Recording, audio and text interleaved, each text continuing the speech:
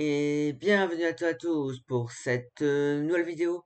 Aujourd'hui on se retrouve pour le résultat et classement de la septième journée de Ligue 1 Conforama. Et le match de la soirée c'était le Derby du Nord. Qu'on verra ça un peu plus tard dans, ce, dans ces résultats. Et on commence par Dijon qui font un nul contre les Rennais un partout. Pareil qui s'impose 4-0 contre Nîmes et qui revient donc à égalité avec Rennes. Deuxième place donc.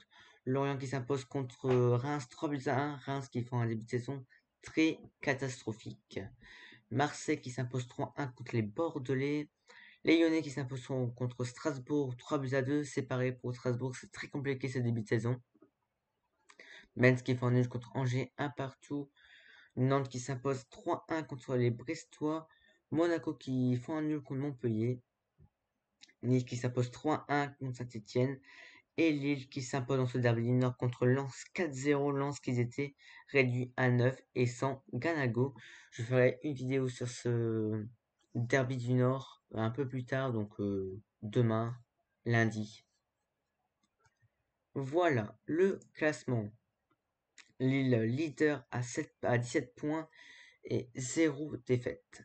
Suivi de Paris à 15 points et de Rennes 4, 5e, 4e et 5e Nice et Lens à 13 points.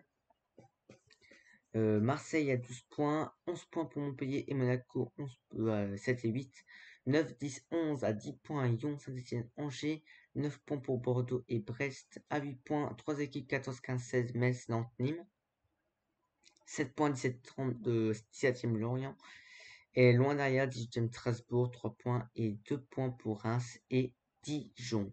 J'espère que cette vidéo vous aura plu. Moi, je vous dis à la prochaine et à bientôt. Allez, bye bye.